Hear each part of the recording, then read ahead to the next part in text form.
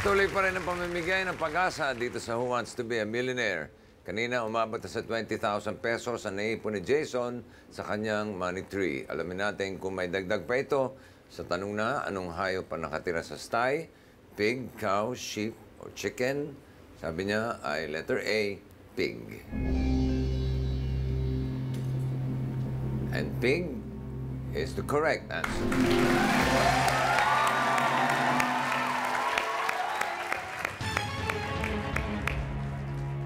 50,000 pesos, question number seven. Ano ang karaniwang itinitinda ng isang greengrocer? A. Auto parts. B. Clothes. C. Fruits and vegetables. D. Appliances. Ano ang karaniwang itinitinda na isang greengrocer? Wala akong idea, bossing. Ayoko kasi mag-assume na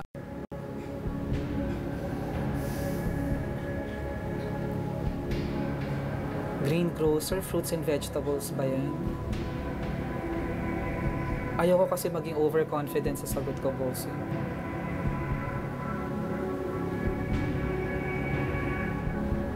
Kaso parang gusto ko yata parang gusto ko yata i-save yung lifeline. Anong desisyon mo? Sasagot na lang po, bossing. Sige. Letter C, fruits and vegetables. Is that your final answer? That's my final answer, bossing. Hala ko ba hindi ka sigurado sa sagot mo? Hindi po. Sabi mo nga, ayaw mo mag-assume na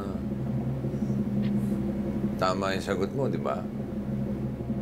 Ayaw mo maging overconfident sa iyong sagot.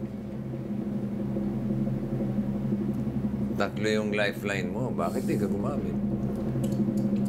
Kasi yung pera na, yung yung money kasi na i-risk ko, hindi pa naman siya masyado malaki. So, gusto ko sana i-save yung lifeline for pag yung ano na siya, mas mataas na sa money tree.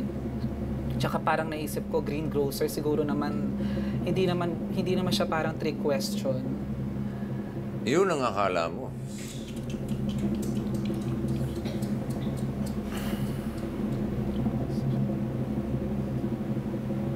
Yung akala mo, Jason, eh tama. Your answer is correct.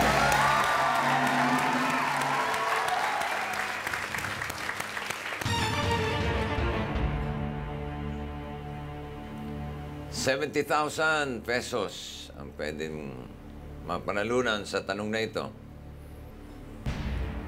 Sino ang ipinaglaban ng revolusyonaryong si Francisco Maniago? A. Kapampangan B. Ilocano C. Cebuano D. Manileño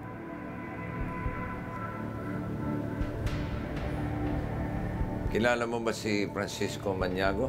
Hindi po bossing. Pero yung iniisip ko po kasi yung mga audience members natin, baka alam nila to. Kasi pag nanonood po ako ng Who Wants to be a Millionaire, marami po sa mga audience members natin, mga estudyante. So itong, yung ganitong impormasyon, sariwa pa to sa minds nila. Kumbaga, kasi di ba mga college students sila, so Ibig mo ba sabihin eh, parang gusto mong gumamit ng lifeline? Opo, boss, gagamit na lang po ako ng lifeline. People speak. People speak. Audience, ang laki ng tiwala ni Jason sa inyo, ha? Tulungan natin siya. Sino ang ipinaglaban ng revolusyonaryong si Francisco Maniago? A. Kapampangan B. Ilocano C. Cebuano or D. Manileño Yung mga magagaling sa Philippine history Magsitayo, please Diyan sa mga nakatayo, Jason Pipili ka ng tatlo Nearsighted kasi ako, bossing, kaya mapasa. Turo mo lang Sige, try po natin to si Ninya ba yan? Yung may salamin Ninya, na babae. ah. Ninya po. Dalawa pa. Sige, try din po natin yung may salamin. Ito si sa front row. Nakasalamin. Si Try Moco. Tapos try na lang po natin yung naka-violet bossing. Dito sa may second row. Gilbert. Ah, Okay, yung mga hindi napili, take your seats. Thank you. Unahin na natin si Ninya. Hi, Ninya. Good evening. Good evening din po. Kamusta? Okay naman po. Kilala mo ba si Francisco Maniago? Hindi po eh. Pero Hindi. may gut feel po. May gut feel. May gut feel ka? So, sino yung pinaglaban ni Francisco Maniago? A po. Kapampangan? Ano yun? Napag-aralan mo ba yun o gut feel lang talaga? Gut feel lang po talaga. Okay, salamat Ninya.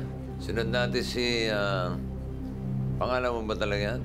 Hindi po, ano lang po, um, code name. Code name? Ano ang pangalan Yes, mo talaga? Yoy po, Yoy. Anong sagot mo? Actually, um, bossing medyo nakalimutan ko ng sagot ko lang letter A, Kapampangan. Anong ginaya mo lang si Ninya? Hindi, hindi po, ganun po talaga. Ano yun? Na gut feel mo lang o... Kutob po. Okay. okay. Gilbert, galing ka ba sa history? Uh, when I was in high school po. Kilala mo si Francisco Maniago? Uh, kutob ko lang po ah, kasi po I'm from Nueva Ecija po. Parang sagot ko po letter A po. Kapampangan din po. Dahil taga Nueva Ecija ka, kutubo ka papangan. Opo. Ayos ah. Jason, ano? Nakatulog ba? Isa lang naman yung sagot nila. Isa lang naman yung kutob. Kapampangan daw. Ang tanong na lang, ikaw ba'y maniniwala o may sarili kang kutob o ano? siguro po bossing kasi ang alam ko, ang kapampangan yata, ginagamit din yata yan sa Nueva Ecija.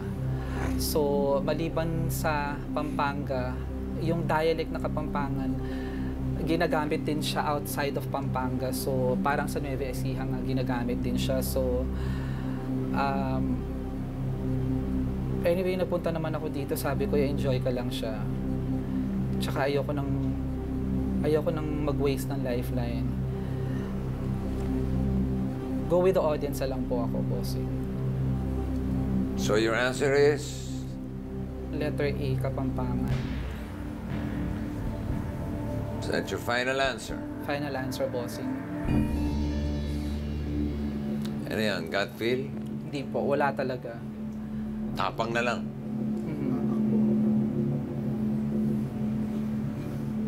Walang tatakbo ah.